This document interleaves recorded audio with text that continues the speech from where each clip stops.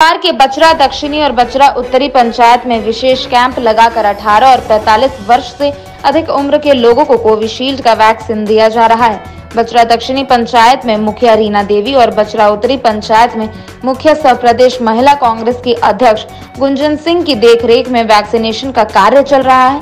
Vaccine लेने के लिए काफ़ी संख्या में लोगों की भीड़ देखी जा रही है। पंचायत के पंचायत सचिवालय में कोविड नाइन्टीन का जो टीकाकरण किया जा रहा है वो 45 प्लस एटी प्लस सभी लोग को फ़र्स्ट डोज और सेकंड डोज सभी दिया जा रहा है।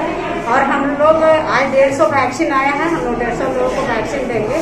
और आगे जो व्यक्ति बचे हुए हैं, सबको वैक्सीन मिलेगा, इसमें घबराने की बात नहीं है।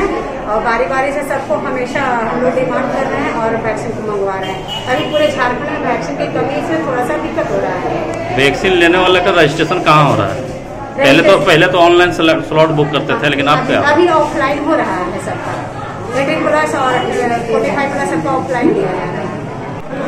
आज हमारे बचरा उत्तरी पंचायत के बचरा मध्य विद्यालय में जैसा कि पता है कि सरकार के द्वारा ये था और ये गाइडलाइन दिया गया था डब्ल्यू एच के द्वारा कि जिनका भी फ़र्स्ट डोज हो गया है उनको 84 डेज़ पे सेकेंड डोज लेना है। कोविड सेल का यहाँ पे बढ़ रहा है।